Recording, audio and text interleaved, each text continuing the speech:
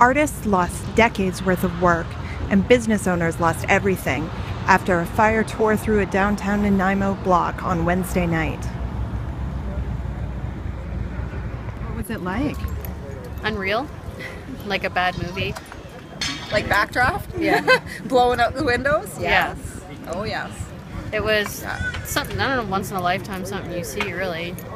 You sit and look at it and go, that's not my store. This is not happening. Yeah, This isn't real. bad dream, Yeah. worst nightmare.